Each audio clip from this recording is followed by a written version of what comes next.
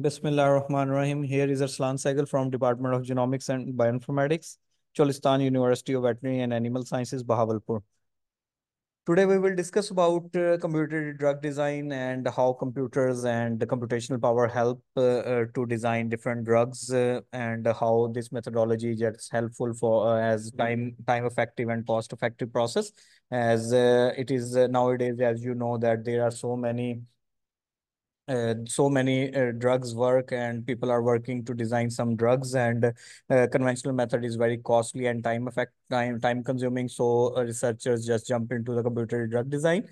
Uh, there are different methods for computer drug design and different approaches are used. So we are going to just uh, overview all these approaches so we can understand the overall overall overall the methodology of computer drug design and how we can quickly learn the methodology what is in actual computer drug design or you can say bioinformatics? It is the part of bioinformatics. Bioinformatics is a field of science in which uh, computational power was used to solve the biological problems and the computer drug design is in actually method that uses the computational power to discover and design different types of biomolecules or compounds against different diseases by, use, by using uh, wild type or mutated proteins or different mechanisms. So it plays a very crucial role in medicinal chemistry and in computational chemistry to understand the behavior of the uh, compound with the protein. Before that, we have a conventional uh, drug design method in which uh, usually uh, many years, uh, researchers spends many years to understand the behavior of a, of a compound or to, to design a compound or develop a drug against a disease. So it usually took billions of USDs uh, uh, and many time consuming, usually one decade, minimum one decade, and sometimes it just prolonged to, to two decades or three decades. Many researchers just spend their whole life to work on one library, compound library, and even even could not get uh, good results. So in uh, conventional drug design method, we have two uh, phases. First one is the discovery phase and the other one is developmental phase.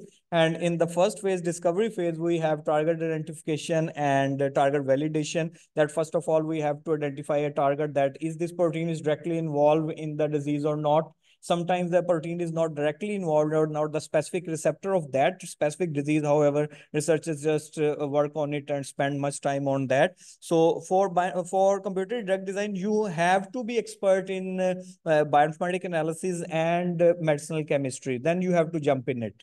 So after that, we have uh, uh, lead of identification and optimization. Then we jump into uh, preclinical studies that took much time uh, years and uh, decades sometimes. Then we just go to the clinical phase one and clinical phase two and three. Then there was a long story of fda approved drugs that how we can uh, approve that drug. So for these uh, long phase experiments we just jump into computer drug design that will be cost effective and that also help you for the accuracy of the compound at early stages. And you can find the compounds at early stages that is it will work or not in uh, further experiments or and the most important is time consuming and cost consuming uh, cost effective as compared to conventional drug design method. So here we have a pipeline conventional pipeline we use. We can change it or mold it according to our experiments and the nature of the experiment. Uh, we have structure prediction structure validation virtual screening molecular docking analysis ligand uh,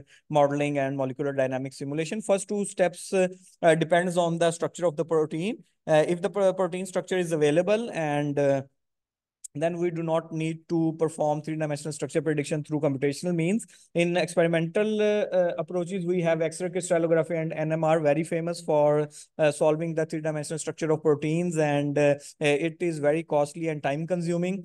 Mm, in PDB protein data bank, there are almost 200,000 protein structures are available. That includes also the structures of other organisms except human the, not only human, other organisms are also, uh, the structures of other organisms are also present in PDB. So in human, there are almost 1 million proteins after post-translational modification and at transcriptome level, it is almost 100,000 proteins and uh, uh, the structures are uh, very less as compared to available in the human body. So if we don't uh, afford or if we cannot afford or have not expertise in X-ray crystallography or NMR, we can jump on three-dimensional structure prediction through computational means and validation of those compound, uh, those predicted structures through homology modeling, threading, and ab initio. In homology modeling, we just uh, use a template that that is already uh, solved through X-ray crystallography or NMR. We just retrieved it from PDB. Depends on the score of the template uh, through BLAST, and then we just use that template to predict the three-dimensional structure of the target protein.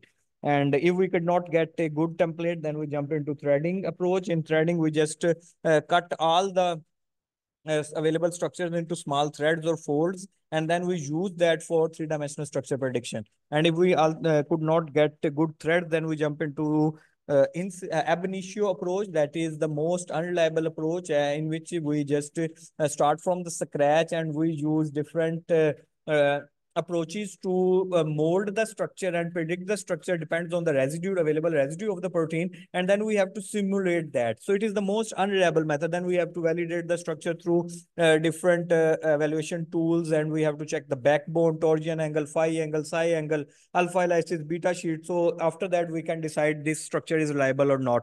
A good structure, we need almost uh, three to four weeks to predict a good structure through in silico means usually researchers just spend uh, uh, 15 to 20 minutes or an hour or sometimes just apply it uh, just uh, send the sequence to online servers and got the structure and think that it's a good one. No they have to work on it they have to understand that this structure is liable or not for further experiments. Then we have virtual screening approach. Uh, uh, in conventional method, usually a researchers just got the library of thousand compounds and then use that thousand compounds for uh, for years to understand that is it is working on against a disease or not. So in uh, virtual screening, high throughput virtual screening, we just uh, took the libraries of millions of compounds in and analyzed those compounds uh, against a specific disease or a protein in uh, four weeks or sometimes three weeks if we have a good computer having good computational power.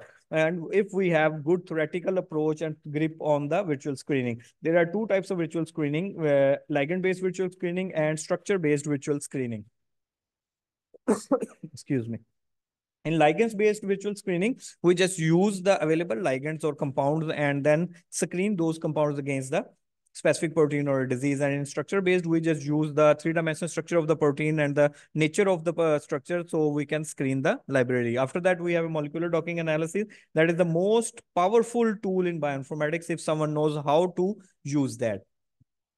Usually, conventionally, people just dock the compounds without knowing that uh, uh, the protein needs blind docking or targeted docking, flexible docking, soft docking, rigid docking, and which type of docking experiment is needed for this experiment.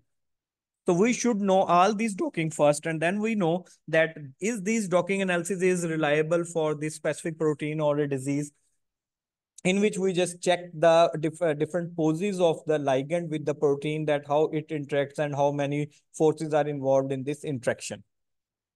We also have uh, uh, modeling, uh, ligand modeling also we can say it uh, uh, pharmacophore modeling ligand based and structure based in which we use the essential characteristics of uh, specific ligands to design a virtual compound and then screen that uh, like uh, pharmacophore and if we don't have ligands so we use the structure of the protein and uh, check the essential characteristics of that specific uh, amino acids present in the pocket of uh, the uh, the protein or the binding region of the protein. And then we design the compounds again for that now we have molecular dynamic simulation and people thinks that it's a, a very powerful tool. In actual, it's a post-docking analysis in which we check the docking results. Uh, we try to mimic the real-time environment in computer, like if the protein is a transmembrane protein, then we have to generate a lipid bilayer in the computer and then uh, put our protein there and check the behavior of protein. That protein is always in dynamic form in human body. So we try to give the dynamic environment to, to the protein in the computer. And if the protein is in cytoplasm, then we have to generate a cytoplasm uh, clear uh, uh, around the protein. So it depends on the nature of the experiment in which we check the behavior of the ligand with the protein and if the beta sheets and alpha helices are changing or not, or the interaction is breaking or not, or the interaction becomes stronger or not. It, it all we can analyze through molecular dynamic simulation. So different categories we have for computational uh, drug design, uh, in which structure-based computer drug design, ligand-based computer drug design, pharmacophore modeling, QSAR, ligand-based virtual screening. So uh, it, these all approaches are depends on the nature of experiment and the expertise of the researcher uh, that how uh, he or she can utilize all these approaches.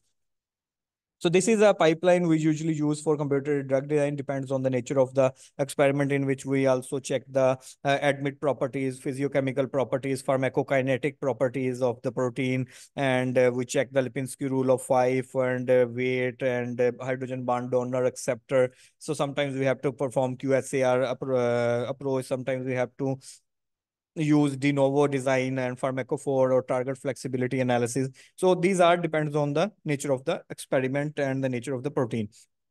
So Department of Genomics and Bioinformatics, Cholistan University of Veterinary and Animal Sciences welcomes everyone for collaboration. Thank you so much.